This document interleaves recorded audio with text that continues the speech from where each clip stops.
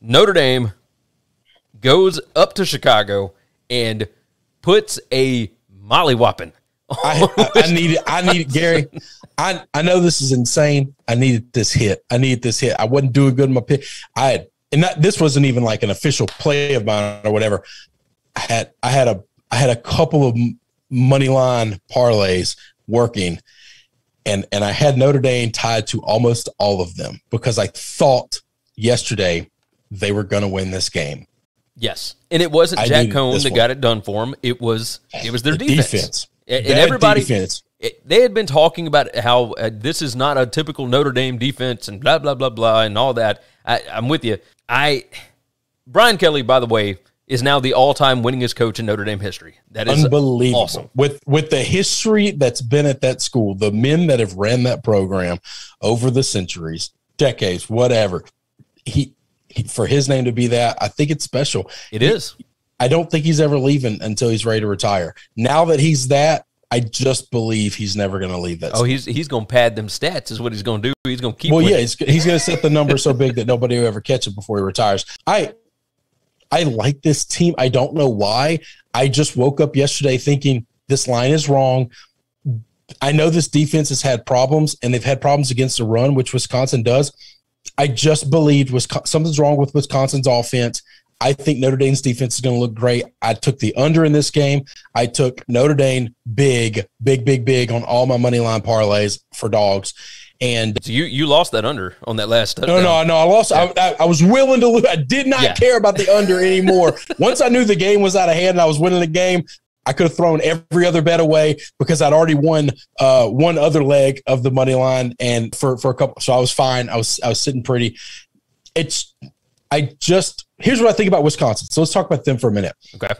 my thought watching this game was if Wisconsin gets out in front of anybody, I think their defense is good enough, their run game is good enough that they can suffocate you, grind the game out, and they're really hard to beat.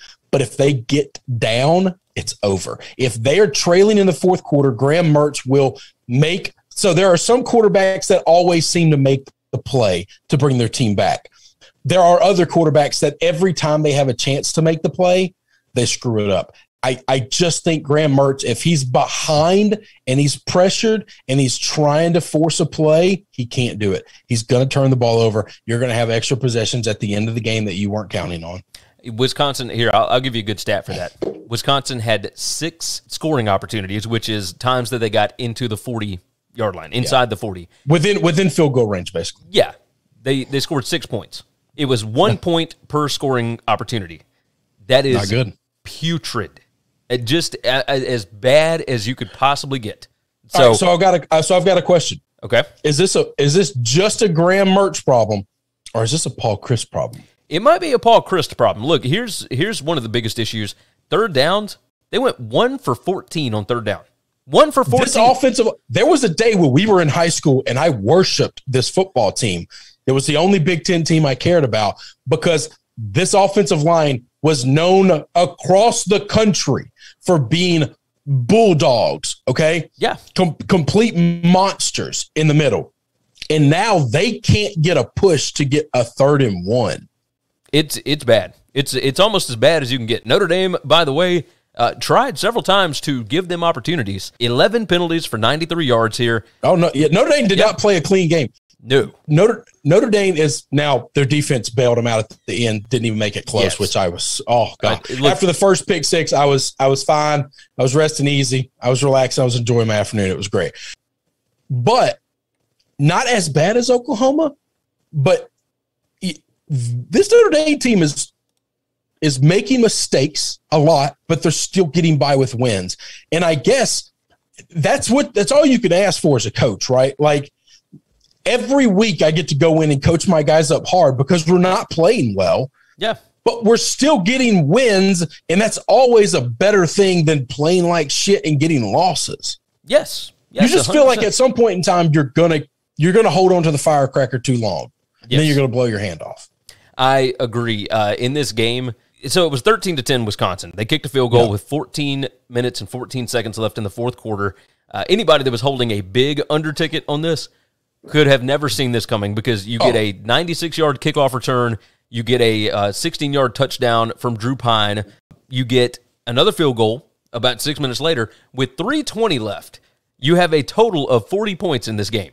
And you're perfect. And you get- four, and then 14 points from pick sixes. you get two pick sixes with less than uh, two and a half minutes left in the ball game, uh, which which made the score like it was not a 41 to 13 game. This was a much closer Oh, game no. than that. No, no, But- no, no, no, no. That that's this. Yeah, no, not just, even close. Just Um, unreal. Unreal. Unreal, unreal. So cheers to Brian Kelly. I mean, knocking I this thing out. And I- I'll tell I you needed, this I needed that game like I needed oxygen to breathe.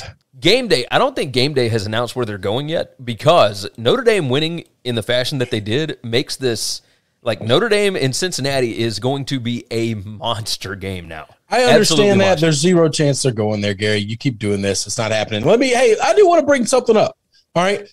Now, I love the city of Chicago. There, there are two great cities in this country that I try to spend a lot of my time in.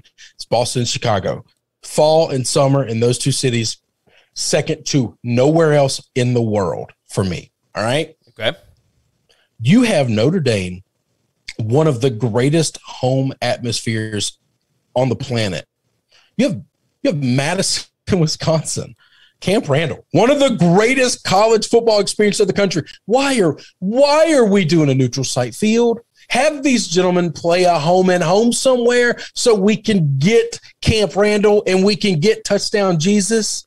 So Like this, I'm not trying to be a stick in the mud, but damn, if you're gonna take a if you're gonna play a neutral site game, d- do it with Missouri because that ain't home field. Okay, This nobody is- gives a shit about that. I, I agree with you, but this is something that Notre Dame has set up. It's like the Shamrock series or whatever. I know. where they're doing They're- it all over the place so that it's they can recruit nationally. for recruiting. But hang on, when they want to play in in Yankee Stadium or Fenway and they want to play Navy, that's fine because nobody cares about going to Navy. All right. Agreed.